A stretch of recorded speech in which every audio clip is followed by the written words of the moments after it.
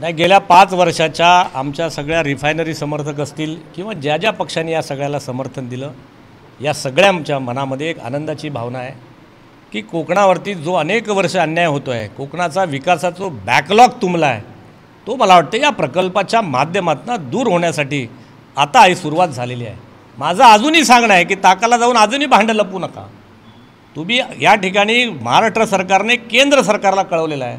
आता आमची जबाबदारी आहे. म्हणून या ठिकाणी मी केंद्र सरकारचा प्रतिनिधी म्हणून आलेलो आहे की या रिफायनरी समर्थकांचं एक शिष्टमंडळ इथल्या सगळ्या आमदारांच्या ज्यांना यायचं त्या कुठल्याही पक्षाचा अभिनिवेश न बाळगता ज्यांना ज्यांना वाटतं की कोकणातली बेरोजगारी दूर व्हावी कोकणातल्या शिक्षणाचा बॅकलॉग दूर व्हावा कोकणातल्या प्रत्येक घरामध्ये पाणी पोचावं आणि ऐंशी टक्के बंद असलेली कोकणातली घरं पुन्हा उघडावीत असं ज्यांना ज्यांना वाटत असेल अशा मंडळींचं एक शिष्टमंडळ आम्ही केंद्रित्व के केंद्रीय शीर्षत्व नेतृत्वाला जाऊन भेटणार आहेत. पेट्रोलियम मिनिस्टर असतील माननीय गडकरी साहेब असतील माननीय नारायणराव राणे साहेब असतील माननीय कालच ज्यांनी हा विषय पुन्हा ऐरणीवर आणला.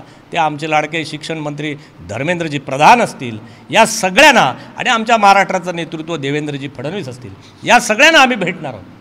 या प्रकल्पाच्या निमित्ताने कोकणाचा एक बॅकलॉग दूर करायची संधी कोकणाला मिळालेली आहे. आणि महाराष्ट्र सरकारने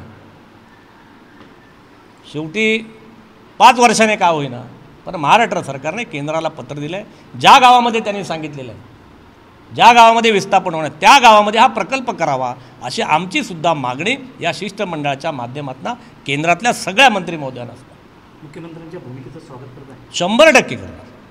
कोकणाच्या विकासात वयम पंचाधिकम शतम. आम्ही सगळे एक आहोत. आमच्या कोकणाला विकास हवा आहे. आमच्या कोकणातल्या दोन लाख बेरोजगारांना आम्हाला नोकरी हवी आहे. आमच्या कोकणामधलं पाण्याचं दुर्भिक्ष घालवायचं आहे.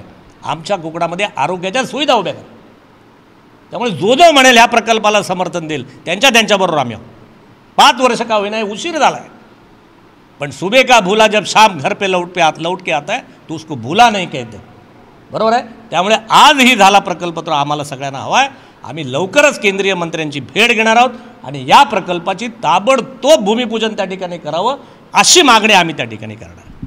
थँक्यू एबीपी माझा. उघडा डोळे बघा नीट.